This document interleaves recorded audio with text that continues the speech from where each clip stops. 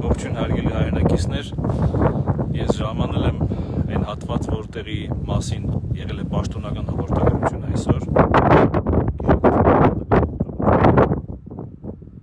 Հերո չեմ տեղից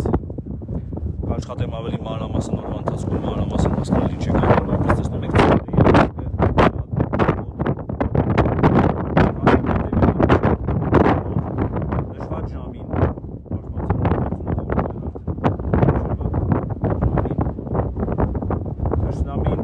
մեծ ուժերով հարցակում է գործել մեր մարտական դիրքերից հենակետերից մեկի վրա կարողացել է վերցնել դիրքը այս դժվարությամբ ուղղակի հերոսական պայքար են մղել եւ ինչպես հետո բարձվել է մինչև վերջին փամփուշտը կրվել են տղերք 3 զոհ ունենք 3 հերոս նաև կան վիրավորներ, որոնք կարողացել են մարտերով մի կերպ անցնել հարակից դիրքերը։ Շատ կարճ ժամանակում հրամանատարությունը գործելով շատ այդ օպերատիվ,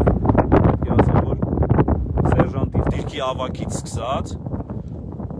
Վաշտի գումարտակի բոլոր օղակի հրամանատարներով, բանակային կորպուսի հրամանատարությունով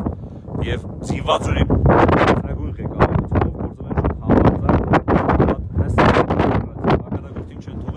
են ընդհանրապես շատ արագ հակարցակումը կատարվել է դիրքը վերականգնվել է եւ ինչպես պարզվել է դիրքում մեր հերոսացած 3 տղաների զենքերի մեջ չի եղել ոչ մի փամփուշտ, մինչև վերջի փամփուշտը տվերքը կռվել է։ Մնացածի մասով ընթացքում կխոսենք, ուղղակի խնդրում եմ բոլորիդ այսպիսի պահերին մի կողմ թողենք մեր բոլոր ատելությունները, նենգությունները, ինչերը, որոնք երբեք չեմ հասկացել։ Ձեր շատ հաճախ մոլորությունները, սխալ պատկերացումները, պատերազմի մասին, հաղթելու մասին, պարտվելու մասին, ամեն ինչի մասին կխոսենք ժամանակին։ Բայց այսպիսի ծանր իրավիճակներում պետք չի որ մեկս մյուսիս այսպես թույններ շնչենք։ Թշնամին նենգ է, հանգիստ չէ ոչ մի ուղությունում։ Վերջին օրերին դուք գիտեք, այս ուղությամբ անդադար լարումներ էին լինում։ Եվ պետք է նորից նորից ասեմ հրամանատարության